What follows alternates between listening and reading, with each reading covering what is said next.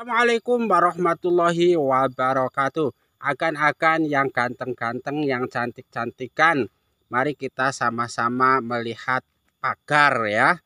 Pagar yang dibuat dari batang singkong. Jadi dia itu multifungsi kan nih.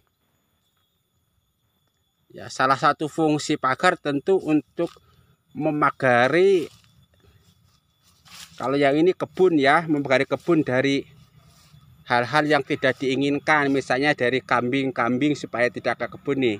Kalau dia menggunakan apa batang singkong kan? Jadi ini dia multifungsi.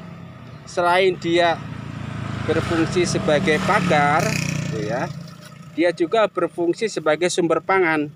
Artinya apa ini? Bisa setiap dua hari sekali atau tiga sehari pemilik pagar ini itu bisa panen daun singkong nih ya tuh Daun singkong ini nanti bisa dikonsumsi sendiri atau bisa dijual ke pasar ya. Di multifungsi, fungsi sebagai pagar, fungsi sebagai pangan ya. Juga fungsi untuk menambah kebutuhan ekonomi ya tuh.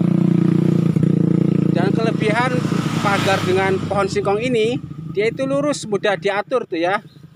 Hanya dengan ini diapit oleh bambu yang dibentuk seperti itu menjadi reng istilah kita itu itu kita sudah bisa membuat pagar yang sangat bagus ya. Tuh. Jadi indah ya. Nah daun singkong ini tentu memiliki khasiat yang sangat banyak bagi-bagi kesehatan ya. Secara kesehatan dia bermanfaat secara pangan dia bisa mengenyangkan dan lain-lain kan ya. Tuh ini misalnya itu daun singkong. Ya kan Ini daun singkong ini multifungsi kan. Bisa cuman direbus saja, bisa langsung dimakan ya.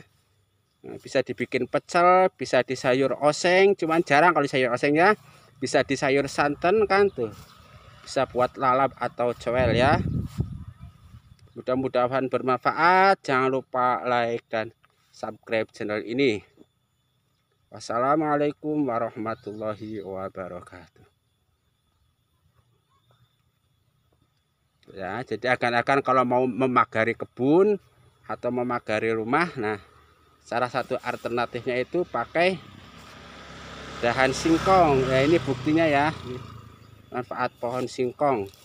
Selain buat kayu bakar pohonnya itu bisa ditanam kembali dan bisa difungsikan sebagai pagar